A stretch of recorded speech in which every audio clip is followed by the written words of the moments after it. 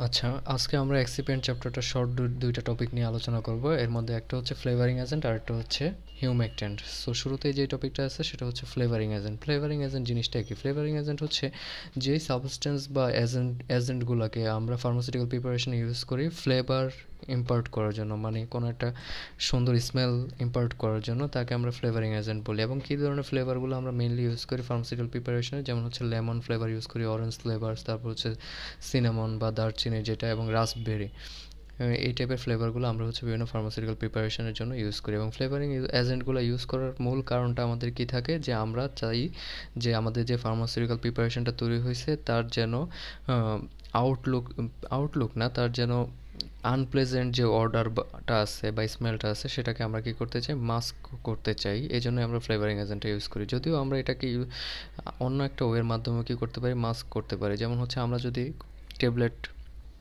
টাকে কোট করে দেই সলিড ডোজেস ফর্মের ক্ষেত্রে বা ট্যাবলেট ফর্মুলেশনের ক্ষেত্রে, তাহলেও তার কি হবে? আনপ্লেজেন্ট যে অর্ডারটা আছে, সেটা মাস্ক হয়ে যাবে এবং এটা আমরা কোটিংয়ের মাধ্যমে অ্যাচিভ করতে পারি এবং ম্যাক্সিমাম যে ফ্লেভারিং এজেন্টগুলো আছে, সেগুলো হচ্ছে হিট সেন্সিটিভ হয় বা থার্মোলেভাইল হয়।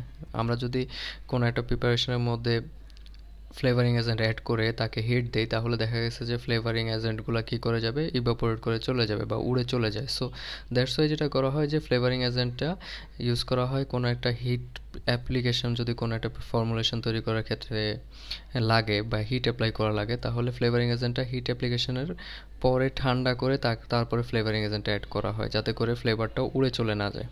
এবং ফ্লেভারটা অ্যাড করার ক্ষেত্রে যে জিনিসগুলো মাথায় রাখতে হয়, যেমন হচ্ছে পেশেন্টের এজ মাথায় রাখতে হয়। যেমন চিলড্রেনদের ক্ষেত্রে যদি কোনো একটা ফ্রুট জাতীয়, ফলমূল জাতীয় কোনো ধরনের একটা ফ্লেভার অ্যাড করা হয়, তাহলে তারা এটাকে বেশি পছন্দ করবে। সো চিলড্রেনদের ক্ষেত্রে ওই টাইপের ফ্লেভারগুলোকে মেনলি ইউজ করা হয় এবং অ্যাডাল্টদের ক্ষেত্রে ডিফারেন্ট টাইপের ফ্লেভার ইউজ করা হয়।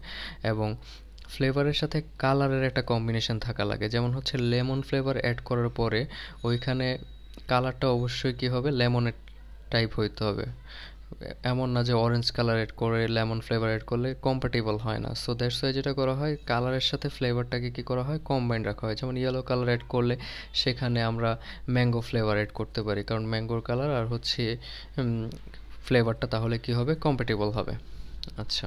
তারপরে যে জিনিসটা হচ্ছে, সেটা হচ্ছে কি, আমরা তারপরে যে টপিকটা দেখব এক্সিপিয়েন্টে সেটা হচ্ছে হিউমেকটেন্ট হিউমেকটেন্ট বা এটার আরেকটা নাম হচ্ছে কি ময়শ্চারাইজার এখন ময়শ্চারাইজারের কাজ কি? ময়শ্চারাইজারের কাজ হচ্ছে সে কী করবে?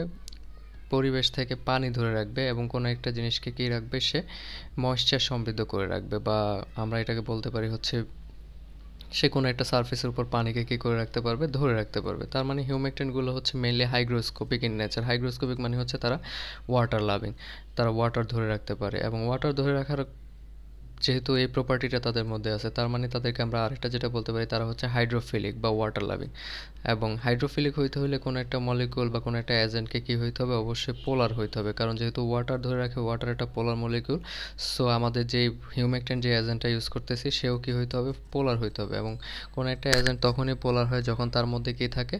পোলার গ্রুপ ফাংশনাল গ্রুপ থাকে। যেমন ম্যাক্সিমাম টাইমেই হচ্ছে দেখা গেছে হ্যাঁ হিউমেকটেন জাতীয় যে এজেন্টগুলো আছে, তাদের মধ্যে হাইড্রোক্সিল গ্রুপ থাকে ওএইচ গ্রুপটা থাকে।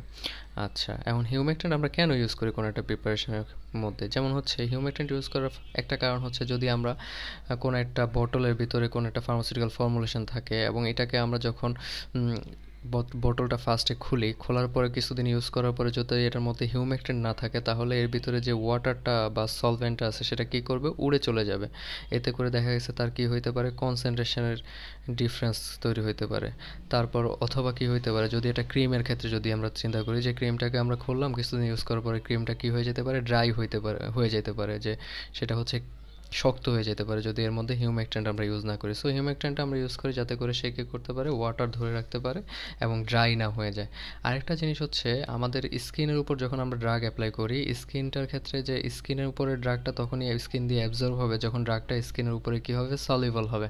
সো স্কিনের উপরে ড্রাই ড্রাগটা যদি অ্যাপ্লাই করার পরে যাতে করে স্কিনের ভিতর দিয়ে ড্রাগটা পেনিট্রেট করতে পারে সেই জন্য আমরা ময়শ্চারাইজার বা হিউমেকট্যান্ট ইউজ করি। যাতে করে সে কী করে? পরিবেশের থেকে ওয়াটার নিয়ে স্কিনের উপরে সলিবল হয়ে যেতে পারে এবং স্কিনের থ্রুতে কী করতে পারে? পেনিট্রেট করতে পারে। আরেকটা যেটা হচ্ছে যে আমরা হিউমেকটেন্ট ইউজ করি হচ্ছে কোনো একটা অ্যাক্টিভ ইনগ্রেডিয়েন্ট বা এপিআই যেটাকে আমরা ফার্মাসিউটিক্যাল ইনগ্রেডিয়েন্ট বলি সেটা আর কি সলিবিলিটি ইনক্রিজ করার জন্য আমরা হিউমেকটেন্ট ইউজ করি। কারণ সলিবিলিটি ইনক্রিজ করবে যখন সেখানে কি থাকবে?